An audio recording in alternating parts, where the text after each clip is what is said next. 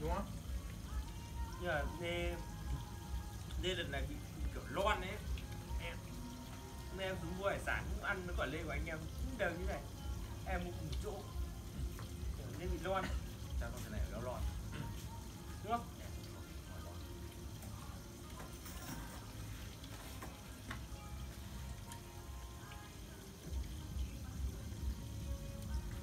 Lê đừng bán nhanh cái nữa đâu bán.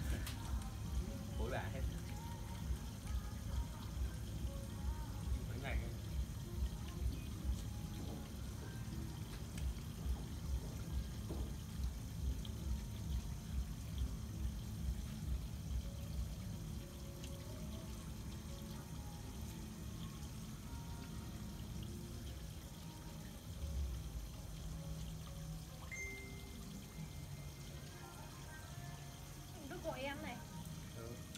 Anh Đức không gọi được ra. Anh xem Ừ, anh yêu gửi gửi cho cái đèn cho nhá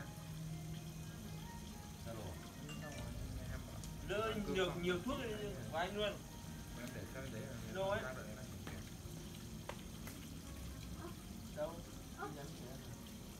còn lại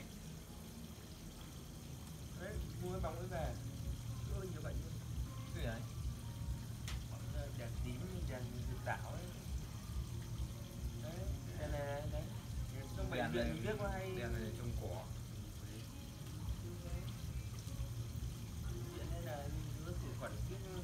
anh cho đây nhá.